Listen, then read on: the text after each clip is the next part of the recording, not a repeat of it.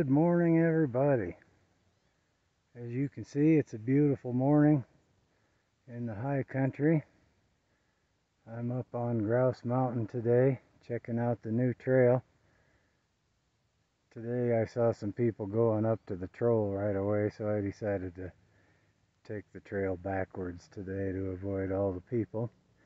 That turned out to be quite fortunate as I spotted the three amigos and got a bunch of pictures of them. Haven't seen them since last winter. So I was pretty happy to see those guys alive and well.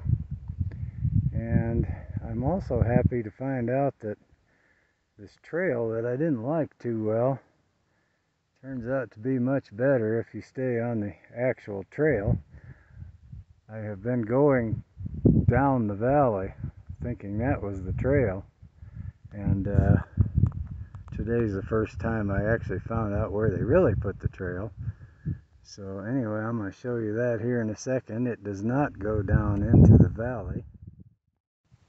So I was going down on the other side of those trees, all the way down to the bottom there, where you might be able to see that little white X. That's actually some mining material that has been left there from the old days anyhow, I have discovered that the trail goes along the side of the mountain here and on up to that saddle where I will be able to cross over and then go through the forest.